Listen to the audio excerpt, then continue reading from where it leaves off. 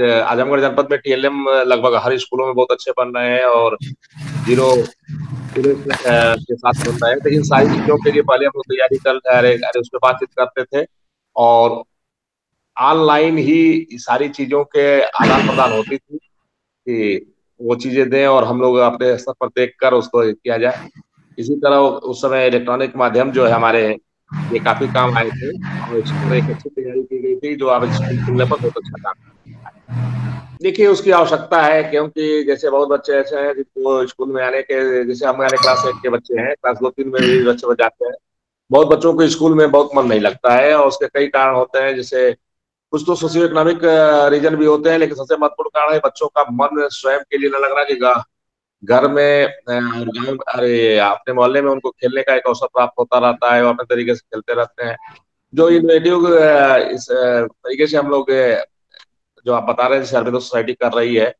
या विभाग भी इसके लिए कार्य कर रहा है तो इसका एक ही उद्देश्य होता है कि बच्चों का पहले स्कूल में मन लगे। पहले तो ये स्थिति होती है कि हमारे टैलेंट्स ऐसे हों, हमारे जो इनोवेशन ऐसे हों कि जो बच्चों को अट्रैक्ट करें। दूसरी चीज़ है कि वो सारी चीज़ें हमारे लर्निंग आउटकम की तरफ़ ले जाए, जो हमारे सब्जेक्ट्स हैं, या हमारे जो चैप्टर्स हैं, उसमें इस तरह से होते हैं उसके लर्निंग आउटकम को भी ध्यान लेकर टीएलएम का निर्माण करता है और निश्चित ही बहुत बेहतर करता है। दोनों चीज़ें करते हैं, बच्चों को इसको स्कूल में देते हैं और सीखने की प्रक्रिया में जो है, लर्निंग प्रोसेस में उनको बहुत ही आसानी हो जाती है। इस तरीके से क्योंकि ये लर्निंग बाय डूइंग की भी एक जो थियरी है, उस उस कॉन्सेप्ट को भी ये पूरा करता है कि जब भी हम कोई चीज़ करके सीखते हैं और तो उसमें हम देर तक ही करते हैं, जैसे प्रैक्टिकली जब करते हैं साइंस में तो उसको एक प्रैक्टिकल की तरीका से हम जब उसको करके सीखते हैं तो वो सीखने में भी एक आसान प्रक्रिया होती है और उसका प्रभाव बहुत दिन तक मस्तिष्क पर लगा रहता है। और जो पढ़कर और समान एक परंपरागत तरीके से बच्चे जैसे रटने की प्रवृत्ति हो जाती है, रटने की प्रवृत्ति से भी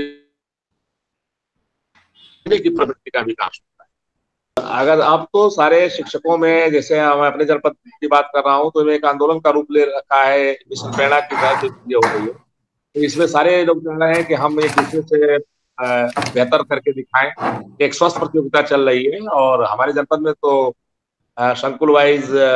टेलम मेला भी लग रहे हैं और नवाचार दिखाए भी जा रहे हैं। तो प्रभावित हो रहे हैं इससे और जिस तरह से आप हम लोग का सहयोग कर रहे हैं शिक्षा विभाग का पूरे 300 जनपदों में हो रही है तो लगभग आधे से अधिक जनपद हमारे देश के इसमें कवर्ड है। तो इस स्थिति में ये निश्चित बहुत अच्छा प्रभाव पड़ेगा और और का भी इसमें काफ़ी उन्मुखीकरण होगा कि वो उन्मुख होंगे कि हम इससे जुड़कर और बेहतर कार्यक्रम प्रस्तुत कर